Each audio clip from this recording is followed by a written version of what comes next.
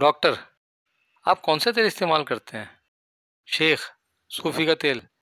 Doctor, आप कौन सा साबुन इस्तेमाल करते हैं? शेख, सूफी का साबुन। डॉक्टर, आप कौन सा पेस्ट इस्तेमाल करते हैं? शेख, सूफी का पेस्ट। डॉक्टर, आप कौन सा शैम्पू इस्तेमाल करते हैं? शेख, सूफी का शैम्पू। डॉक्टर, क्या सूफी को इंटरनेशनल ब्रांड है? शेख, नहीं जनाब, मैं और सूफी एक ही कमरे में रहते हैं। बैंक में डकैती हो रही थी। डाकू एक आदमी के पास आया और पूछा क्या तुमने मुझे डाका डालते हुए देखा है? आदमी हाँ मैंने देखा है। डाकू ने इसे गोली मार दी।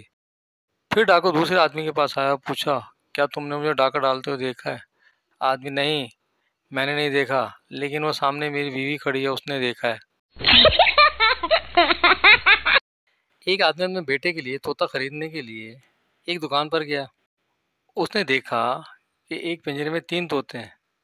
उसने दुकानदार से पूछा कि दाएँ तरफ़ वाले तोते की क्या कीमत है? दुकानदार ने कहा, एक लाख रुपए। आदमी बोला, इसमें क्या खूबी है? दुकानदार ने जवाब दिया, ये कंप्यूटर ऑपरेट करना जानता है।